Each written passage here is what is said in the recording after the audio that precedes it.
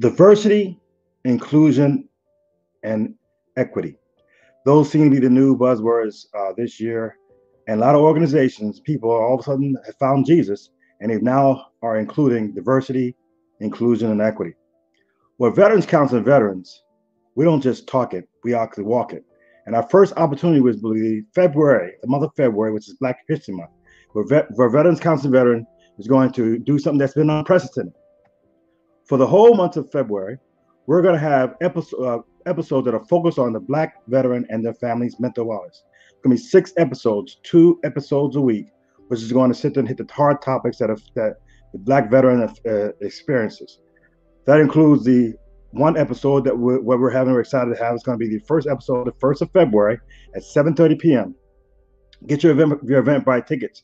We're gonna have we're gonna have a discussion with three Black female combat veterans who decided to change their professions to become mental health providers. And that's just one of many. On the, on the, the following month of February 4th, we're going to also talk about um, the military sexual trauma, the Black veteran and military sexual trauma. And what we're trying to do is ask some questions that you all should be asking.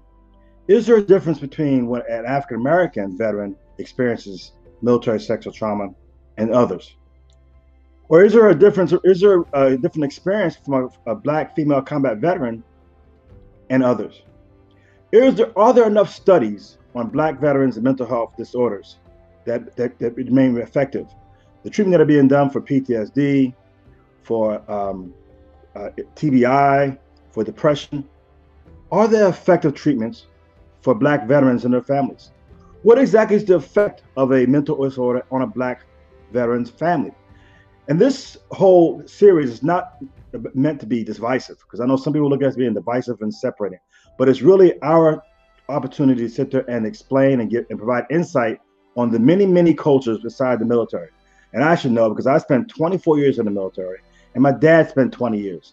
And there's still a difference even with that. So for me, I don't look at this as a way of dividing, but a way for bridging the gap of creating empathy through understanding. So take your time from the whole month, starting the 1st of February until the 25th of February, twice a week. We're going to start having podcasts that's going to sit there and give you insight that you never really thought about having before about how does mental health affect the Black mental health provider. But we're not going to stop there. We're also going to have the uh, same kind of uh, programs for Hispanic Heritage Month. We're the same kind of program for LGBTQ community as well.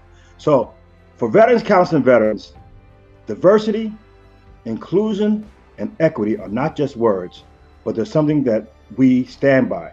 And anybody who's been in the military, if there's anybody who can lead the nation when it comes to diversity, inclusion, and equity, it's the military. In fact, we just we just uh, confirmed our first African American uh, general to be the new Secretary of Defense.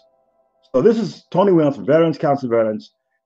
Log on, you get some information later on through uh, on this podcast or on the Eventbrite. Starting on Eventbrite, we have series. You'll see several series that's going to include the first of February, the fourth, the eighth, the eleventh, the 18th, and 24th. We're going to just we're going to talk about the research as well. So again, remember the first episode, first of February, 7:30 p.m.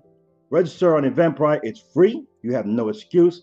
Now it's time to learn, and now it's time to understand what it really means to be diverse, inclusive, and equity. This is Tony Williams from Veterans Counseling Veterans, the CEO, President of Veterans Counseling Veterans. See you then, February 1st.